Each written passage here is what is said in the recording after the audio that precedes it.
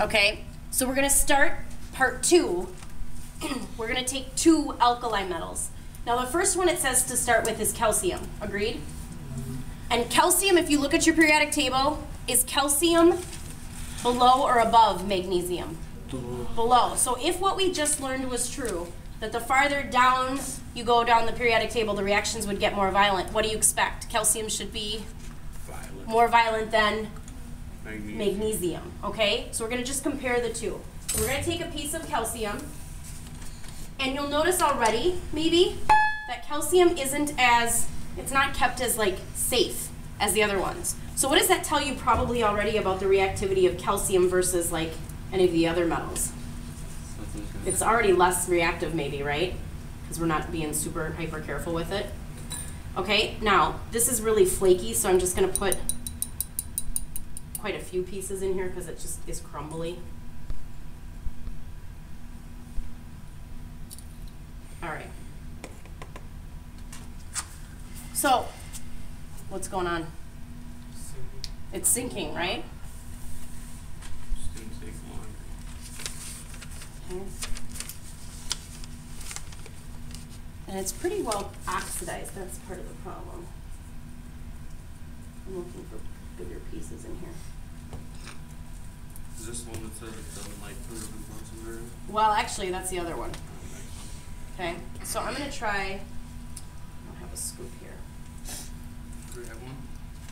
Yeah, I don't know if there's any to grab.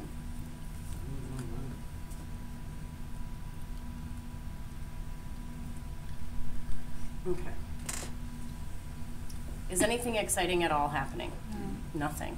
So what I'm gonna do is still the same thing with the phenolphthalein, because if it were to turn pink, would that indicate that a reaction is happening? Yeah. Yeah. It would, wouldn't it? So let's just see if anything's going on.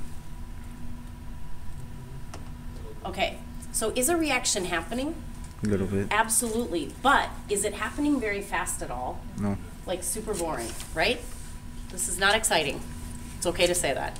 All right, so now if calcium's the lowest one on the table, not the lowest, but the lowest that we're testing, we're gonna test one above it, what can you tell me, what can you predict about the rate that the magnesium is gonna go? even slower, right? So let's just see if I pull this magnesium out. Okay, now magnesium comes as a ribbon. That's what they call this. And so you guys are gonna go to your tables in a little bit and you're gonna see that you have some pieces of this over there. And it's best to, to get it to sort of sink in the test tube if you can. You can kind of fold it like an accordion. If it breaks, it's okay. It's not gonna hurt you to touch this stuff. Okay? So I'm gonna put this in the test tube and it sinks. What's going on? We kind of expected nothing exciting would happen, wouldn't we? Okay, so what does it say to do if we needed to? Throw over Bunsen burner. Put it over a Bunsen burner. But if I heat water in a Bunsen burner and a Bunsen burner is really, really hot, I'm gonna start seeing this boil, aren't I? Yeah. It's gonna bubble. And isn't that one of the things I was looking for was bubbling? So what should I do here? add the drop because if we know if it turns pink, then it's go- something's going on. So I'm going to turn it, put a drop in. Now it turned white, but that's not pink. So should we maybe see what happens when we heat it? Okay. So Marco, I just don't want you to get burned. Okay. Okay. Back to, He's fine. I think he's fine. So I'll get this Bunsen burner lit. you gotta tilt it towards Hmm? the same direction.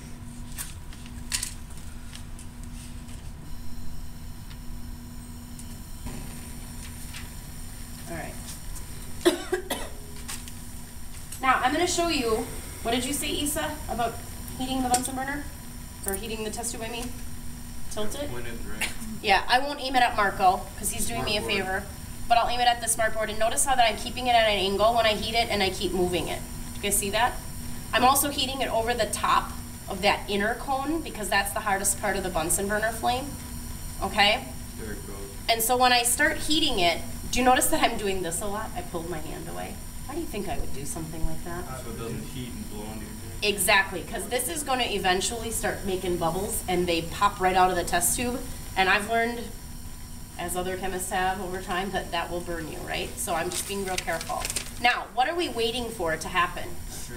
And have, have any of you seen that yet? Okay. Metal's. The metal is turning pink, so what does that tell you? Is a reaction happening? Yeah. But it's happening really, really Slow. slowly, okay?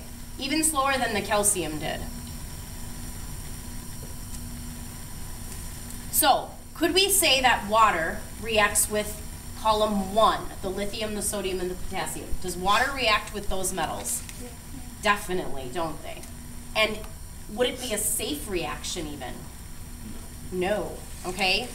Does water react with the second column, the alkaline earth metals? Yes. Yes. Is it faster or slower than the alkali? Much slower, right? So this isn't so dangerous, okay? Now what you are gonna do is you're gonna react some of the same metals and some other metals with acid. Now, do you think acid is more dangerous of a reaction than water? Yes. Probably, okay? And you're gonna use some evidence in the next part of the lab to see what that does. All right, I so, don't think it is. you don't think it is? Because you did these ones and you're probably just gonna do the duds. You think? Yeah. Okay. All right, you can stop that. Liability